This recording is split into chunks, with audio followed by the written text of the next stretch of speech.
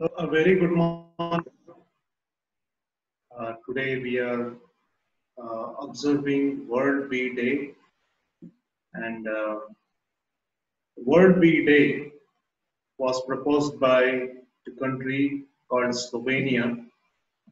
So Slovenia is known as the most bee-friendly country in the world, and uh, me uh, as a beekeeper from 11 years. And i would really like to go there once because if you go to slovenia everywhere there is an expression of bees. If you go to bookstore there will be an art expression of bee. And one in 10 citizens of that country is a beekeeper so there was a beekeeper as well as a beekeeping teacher. Uh, his name was uh, Anton Janscha. He was a beekeeping teacher and also a painter. So he taught beekeeping to so many people and he was so expert in that field.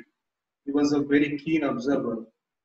So because um, people really loved him, the way he worked in the field of apiculture, and they wanted to uh, honor him with something.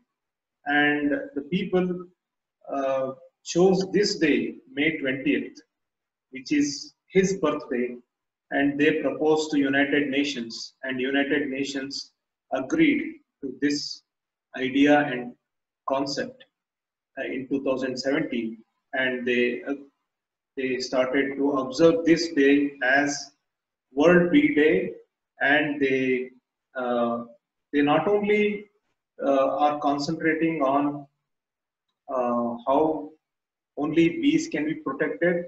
It is actually uh, the uh, the observing day for all the pollinators in the world.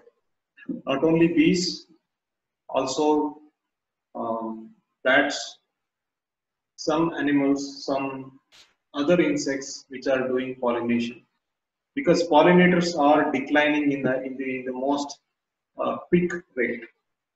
So we have to observe this and uh, you know attach importance to conserve pollinators. Otherwise, when we don't have any pollinators, we will lose everything. So uh, today we are going to discuss a special topic because uh, this topic is being um, you know always talked about in, Bang- uh, in Bangalore because this particular conflict is burning in Bangalore, not only in Bangalore, uh, most of the um, you know metro cities where urbanization is growing in high rates this is the conflict we are facing. So people this is a bee sensitization talk about human bee conflict in urban india. So in urban india what we are facing is uh, the cut of all mature trees. So the bees which are uh, nesting in those trees since more than 50 million years. Yes, uh, more than 15 million years. Now they have no nesting sites, so they will come to human habitat to nest, to continue their cycle, life cycle. So because of this, there is a conflict. Conflict basically comes whenever there is a less understanding. I will repeat when there is a less understanding about what is uh, a- an intruder, so called intruder, uh, and what is its nature, why uh, the intruder is getting into your habitat, and is that your habitat? Is that their habitat? So these are all the concepts that we have to think and that we have to understand more to uh, mitigate this in a sustainable way. So, firstly, uh, we are working uh, working in the field of apiculture since uh, 2011, and we have been training uh, beekeeping for tribals, rural, and also urban people. And we are functioning in so many states, districts, and uh, through our YouTube channel and social media, we are educating so many beekeepers. And we do workshops for uh, uh, beginners.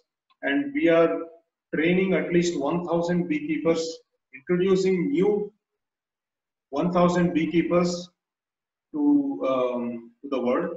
And uh, that is, we are very proud of. And we are keeping ourselves uh, ourselves updated by collaborating with uh, so many universities and uh, research institutes.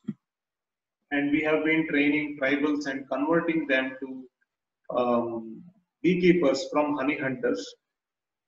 You know, you need to understand this. We have come to an extent, a, a point where we cannot differentiate between tribals and urbaners because um, killing is killing.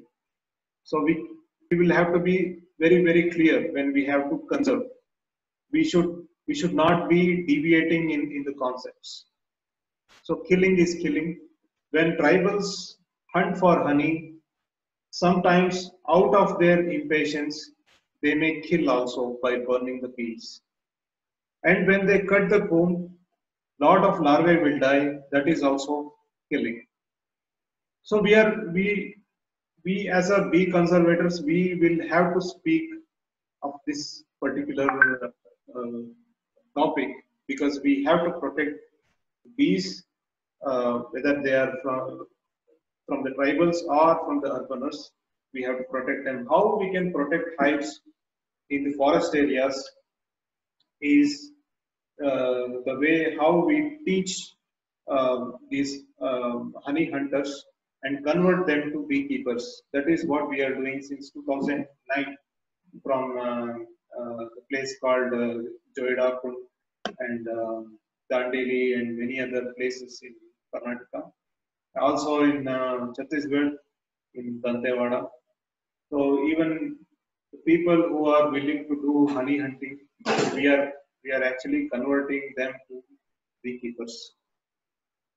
Uh, so this is our tribal uh, development activity in the in Dantewada. We went there and we uh, organized and we coordinated with so many tribal leaders.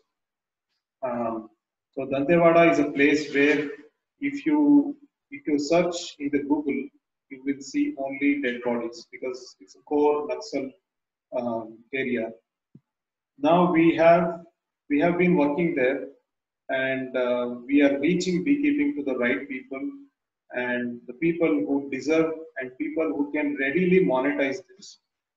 So by this we we have joined with so many self-help groups of uh, and we are trying to bring in some livelihood to people. We are giving boxes through funding of district administration and Khadi and Village Industries Commission we are we are really trying hard out there.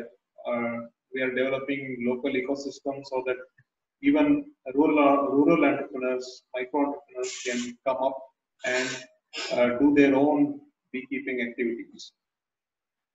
Now we are coming to the main topic. Uh, uh, let us understand how many species of bees we have. We have more than 20,000 bee species in the world. Most of them are solitary bees and very few are social bees. In India, we find these four, predominantly these four species. Apis cerana indica, which you are seeing in the top left, they are cavity nesting bees. They don't nest outside. They will be nesting inside uh, the cavities.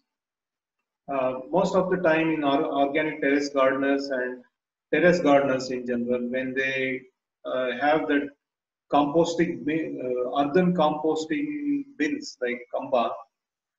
That is the, that is the favorite place for Apis cerana indica, and most of the time they come and they nest there. You can you can call us. We can come transfer the whole colony to the beehive box where you can take care of them and adopt them and divide them also. And you can harvest honey also with that. So that is about how you can protect Apis cerana indica, which are coming to your habitat in terrace or in any uh, habitat in your home that can be shifted to the box and can be domesticated. I'm referring to Apis cerana indica now. Now we are coming to Apis florea. Apis floreas are also called as dwarf bees. They are smaller than Apis cerana indica and they go only within one kilometer radius where uh, Apis cerana indica may go up to two kilometer radius being recorded. But but for Apis florea they are dwarf and they, they will not go far.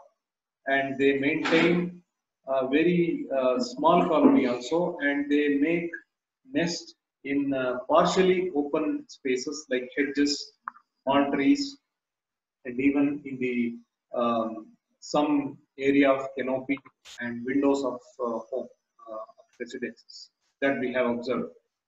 So this particular species cannot be domesticated. They cannot be put in the box and we cannot do uh, any kind of rearing. Now this particular species is very docile. I repeat, these species are very, very docile. You don't have to, um, you know, call pest control companies or even us to protect you, uh, protect, uh, to make yourself protected from the bees because bees are very, very docile. They sting only when you go there very nearby and put your hands on it and they will not even chase you after four to five feet away from the beehive. So just remember, you will have to be away from the beehive for uh, one or two months after they arrive to your place and just leave them, they will go. They will go and they will uh, nest on their own in, in some other place. Now, uh, we, we have Apis dorsata, which is um, our uh, rock bees. These are all the bees where you are seeing in Bangalore, in most of the metro cities, uh, and people seeing them in their balconies, out, uh, outside the window, and in the uh, uh, what is that staircases and uh, corridors where you use corridor for like in apartments and uh, hostels and schools and in uh, big buildings where uh, you can see more than 20 or 30th floor. So these, these are all the habitat where they are nesting right now. As, as I told you earlier, these bees nest in the higher sites, the tall, tallest structure and, uh, and most stable structure. We used to have a lot of uh, uh, mature trees in Bangalore before we had infrastructure development like metros and widening of road and also uh, apartment complexes, gated communities. You take it any any intervention by humans in the name of development, we have compromised with our local ecosystem. So bees come to number one because we have cut the trees and they don't have any nesting site right now. All they have is our big buildings and they will have to nest because they will keep on coming to Bangalore until and unless Bangalore is having with trees and plants. We are the people when a steel bridge and something like that happened when we went to uh, streets and we protested. Now when we have uh, protected our plants and trees, they will have to be pollinated. When they will have to be pollinated, bees will come to Bangalore. So this is the reality and uh, the next species is stingless bees. So in Bangalore, wherever you go, you will find these uh, particular beehives inside the tubes of uh, electric poles. If you go to electric poles uh, installed by Bescom, you can see a, an iron pipe where uh, the cables are uh, drawn inside uh, the ground and asphalting is being done from the top so that water should not seep in. So if you observe keenly in that particular iron pipes, there will be these beehives and they are stingless. They don't have stingers. They, they, they cannot sting also. So they make very small beehives and economically important because they are able to sit on very small flowers, pollinating uh, the special types of uh, flowers which are designed for them because the size of flower should be proportional to size of pollinator then only efficient pollination happens. Now this is uh, Apis mellifera which is being uh, imported to India in late 1970s. Now predominantly whatever beekeeping is happening in North India, it is with this species. Now we have three types of bees in the world. Uh, so, sorry, in, in, the beehive. One is uh, the worker bee and uh, drone bee and queen bee. So worker bees take care of everything, taking care of the younger ones, building the new comb, protecting the hive, going going out for uh, foraging, to bring in pollen, nectar, water, and also taking care of the younger ones will uh, will include um, feeding the younger larvae once in three minutes and uh, maintaining the temperature, ripening of honey, everything is being done by worker bees. So in a beehive, there will be 90% of population of worker bees and only 10% of drone bees because drone bees are a liability because they don't work. Drone bees look fat and black and they, they are a reserve only to mate with queen bees. So because worker bees are all females and they are sterile, they cannot reproduce. But drone bees are male bees and they can mate with virgin queen and that's why beehives keep them as a reserve so that if something happens to queen or if they have to divide the colony, they are useful. Otherwise, they are not useful in the dearth, dearth season where they cannot source uh, uh, much of the food. They will, uh, the worker bees will kill the drones and they will make them to go away from the beehives. And drones are allowed to other other beehives uh, but when when there is a dearth period they, even they will not allow. And sometimes as i told you worker bees will kill all the drone bees if they don't agree to go away from the beehives. That is when we know that there is a fall of nectar flow so queen bee so whether it could be a colony of 400 bees or 1 lakh bees there will be only one queen she is capable of laying 40 eggs to 1500 eggs per day depending on the command of worker bees. The worker bees will command and keep all the calculation about inventory and whatever development is happening inside hive. They, they maintain the data. The master data will be with worker bees and they collectively take decisions and the decisions will be um, followed in a particular protocol. Um, they have their pro own protocol for every challenges in the nature.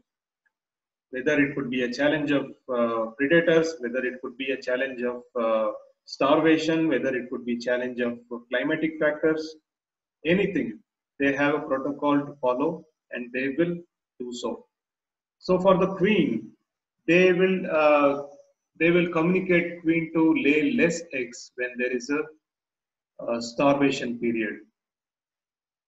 When they have abundance of input, of, uh, especially for the food, what they do is they will communicate queen to lay more eggs. When there is a time for division to make new queen colony, they will communicate queen to lay drones drone eggs so that they can uh, the new queen can mate and the existing queen will take 50% of worker bees and she will leave the hive. So, referring to the urban conflict, if you don't touch that particular beehive, one beehive can become four more beehives. If you don't touch the beehive, by cutting it or spraying it. So if you intervene, one hive may stay as only one beehive and when queen will become old, the whole, the whole colony may collapse. So whether you use the humane way of uh, you know, cutting the comb, not spraying it, or you, if you are using the poison to spray on it, you will be intervening in some or the other way. So just remember, um, you will have to understand this particular life cycle of bees and the roles of bees so that you can relate them as a family. Because if you can see, they take care of their younger ones, they raise them, they wait until the younger ones are capable of flying, then only they will leave the colony. They will maintain stock for their younger ones. Everything is like a family. So if you are killing them, you are killing a family. Now this is a life cycle of a worker bee. So within three days, they will become larva and within 21 days, they will become adult. Now after 21 days of becoming adult, after that, another 21 days will be spent inside the beehive looking after the younger ones, protecting the hive by being a guard bee. Yes, they protect their hive by being a guard bee. Uh, three to four guard bees will be appointed in the entrance of the hive so that they can they can protect the hive from uh, the predators or if they cannot protect from the predators they can at least um, you know communicate the fellow worker bees to uh, to do the attack on the predator if it is really big so and also uh, if the worker bees are bringing food properly or if they are not bringing food properly, if they are bringing something else along with them like parasites, everything will be checked by uh, guard bees. So foragers will take care of everything after that. So they they have 21 days to become adult, 21 days inside the beehive and another 21 days by being a forager. So that's it, they will die. But queen bee is capable of mating with the uh, drone bees and they are capable of living up to two to eight years because queens are are fed with special food called royal jelly which is secreted by worker bees so queen is their survival factor in this process of removal of uh, hives if you if you don't spray, even if you are cutting the comb, by when you are cutting the comb, if you hit the queen bee, the whole colony will collapse. So we have to be very, very sensitive when we have to take, take this decision of removal of beehives. Now we are coming to the core um, well, subject on, on the conflict. Now, you have, you have the rock bees in your balcony. You have to understand about the rock bees first. They are the major pollinators of South Asia. They, they exist throughout South, South Asia and Southeastern Asia. And they are the gigantic Asiatic bees. They cover the foraging area up to 9 kilometer radius so when I say 9 kilometer radius, they will do more pollination, not only to the food crops, they do pollination for the forest, weeds and whatever plants are there, they go for it. Since they are they make a very big hive, they will require more food for their younger ones. So they will forage more. They, they don't have much of the selected plants like our Apis cerana or stingless bees do, they go for almost every, almost. So they maintain biodiversity by pollinating the forest flora and as well as many other flora which are required by other species, other animals. We, we, just don't have to look into mankind only by looking into only food crops, only agricultural crops some plants which are not um, used or uh, eaten by humans will be eaten by something else. So there is a purpose for each and everything in the world. So we have to be kind enough to understand. And they do some honey production in the tribal areas.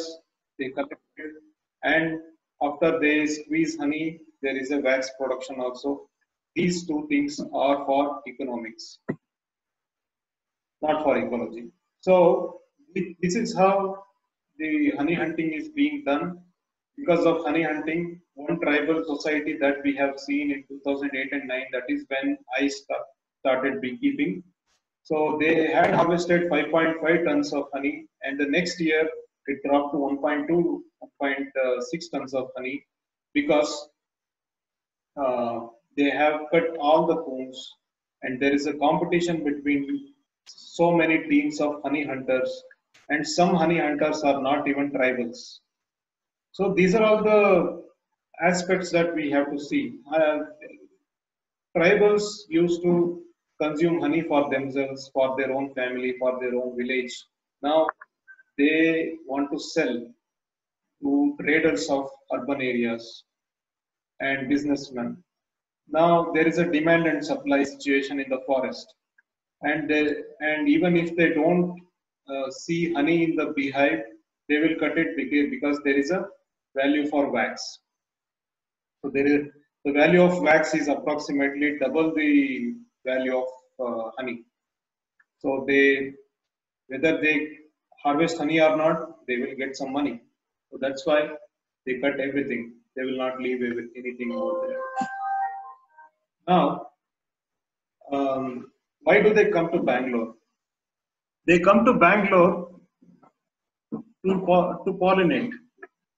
So which trees? Pongamia, copper pods, mayflower, golden bell, eucalyptus, and so many ziziphus related trees, and so many trees which depend on the bee pollination.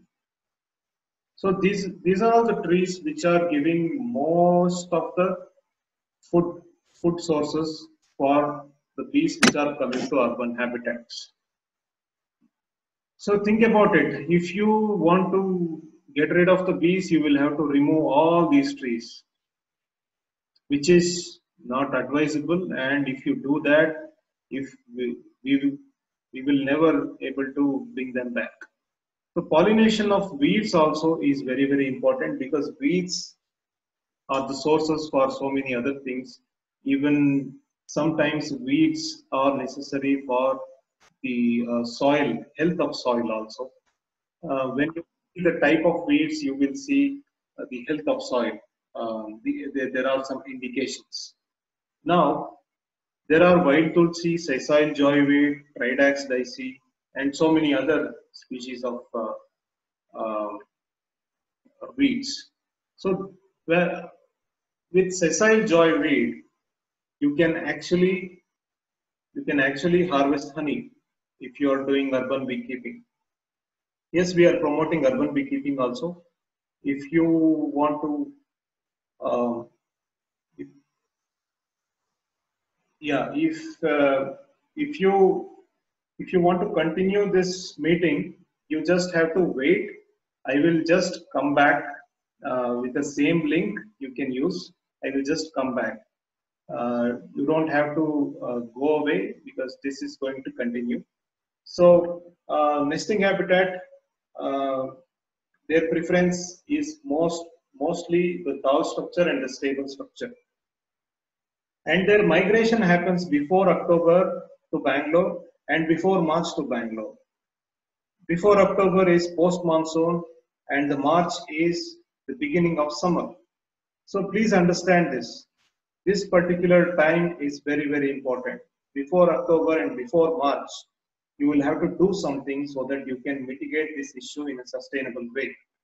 So loss of mature trees is a major cause for their uh, loss of nesting habitat.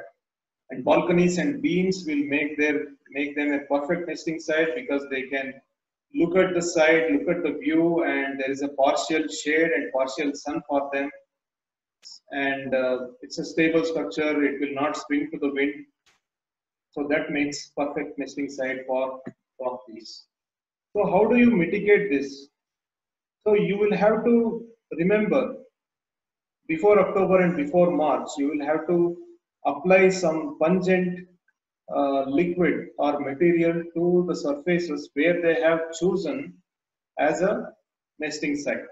After they leave and before they come, you will have to apply it to the, those surfaces or repaint it in something because they once they have marked in that particular uh, space surface, they may come back in the next next year or the other hive may come uh, and nest in the same place because there will be marking and smell of bee wax so that they can come and make their nest.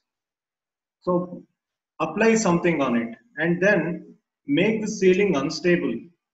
So they generally build this in uh, ceiling and some other parts. So you will have to tie something on it, drill or stick some something like screen or mesh, something like that, so that it will be always be swinging and it makes them so unstable. They will not choose that site as a nesting site. They will leave. They will not choose your balcony as a nesting site. So most of the people will complain that they are facing uh, the problem in the evening because after after evening uh, they will have to switch on light and uh, the bees will get inside the, uh, in their home. So fill in somehow you will have to fill the uh, space between the sliders in the apartment windows and after that you you have to use blackout curtains because apis dorsata is the only bee in the world where they can forage in the uh, full moon night. One week earlier to full moon and one week after full moon they will be active in the nights also. So you will have to use blackout curtains in order to not to make them confused about artificial lights because they tend to confuse about the sun uh, as, a, as a if you switch on the artificial light they will confuse as it as a sun. So they they should be avoided by using this blackout curtains.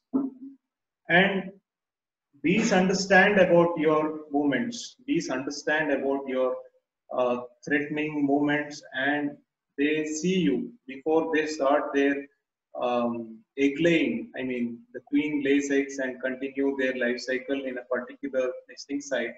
Before that, they will observe you and they will look at you if you are threatening for them or not.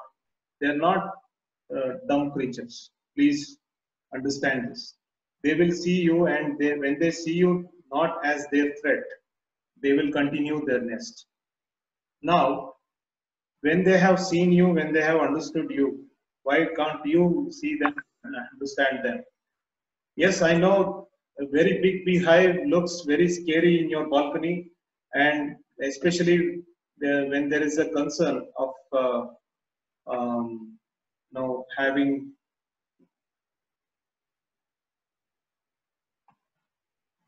when there is a concern of having the uh, uh, small children and elderly people at home, you you may have to uh, act a little um, wisely uh, to take care of them.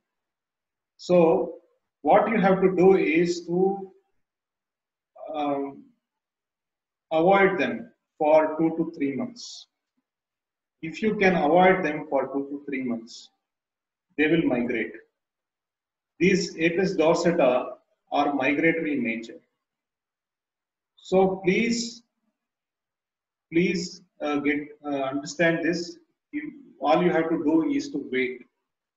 When you can wait, when you can ignore them for a while, if you if you if you can, please do it.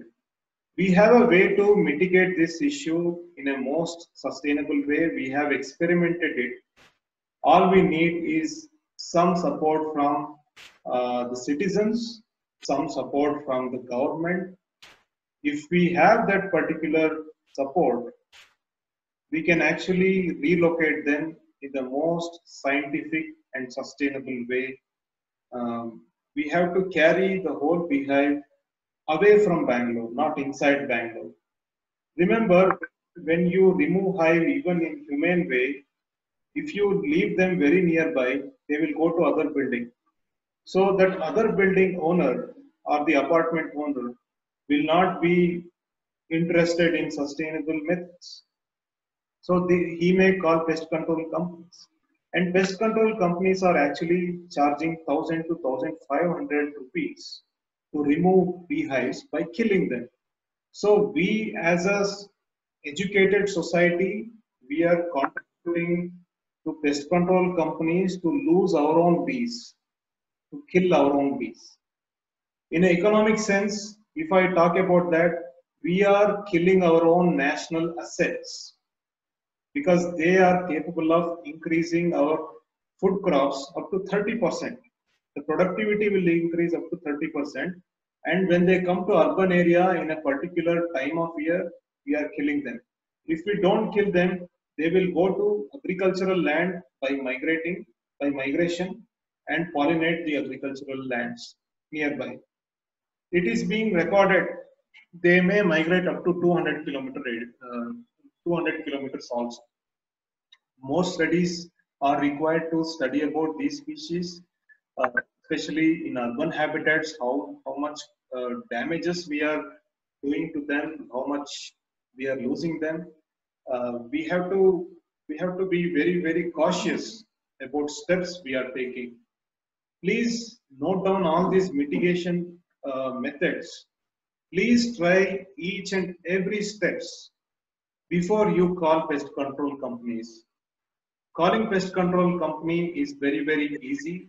They will come, they will kill it within 10 minutes.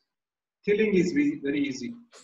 Whereas if you have to re relocate them in a sustainable way and a scientific way, it takes a lot of effort, lot of time, and more people will have to be involved. So in the end, coexistence is the only way. But however, if you require any help, um, if you if you have to uh, get rid of the hive in a particular uh, spaces, you can call us and we will help you out how we can possibly um, help it in a sustainable way.